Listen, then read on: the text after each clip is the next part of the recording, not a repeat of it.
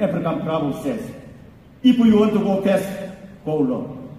If you want to go far, go together.